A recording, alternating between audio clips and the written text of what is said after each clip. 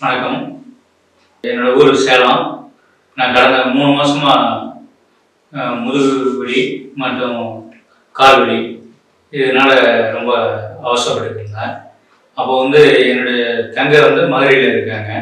அவங்க வந்து இந்த ஹாஸ்பிட்டலை பற்றி ஏவிஎன் ஆரோக்கிய ஹாஸ்பிட்டலை பற்றி சொன்னாங்க.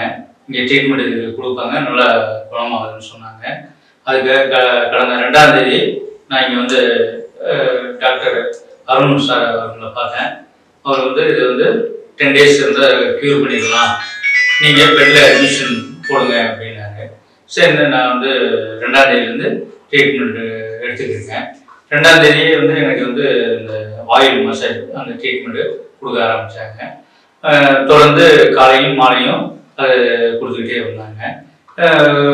ரெண்டாவது நாள்லேயே இப்போ ஓரளவுக்கு வலி குறைஞ்சு நான் கொஞ்சம் சாட்டிஸ்ஃபேக்ஷன் ஆச்சு.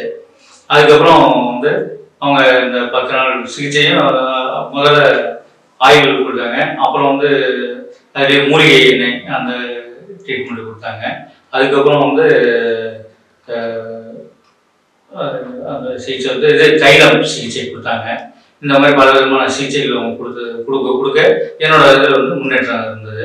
இப்போ வந்து இன்னைக்கு பல பத்து பத்து நாள் ஆச்சு. டாக்டர் அருண் சார் வந்து டெய்லி ரூமுக்கு விசிட் தந்து மற்றும் அவங்க ஜூனியர் டாக்டர்களோடையும் வந்து என்னோட வலி எந்த அளவுக்கு குறைஞ்சிருக்கு? என்ன ட்ரீட்மெண்ட் கொடுக்கலாம்?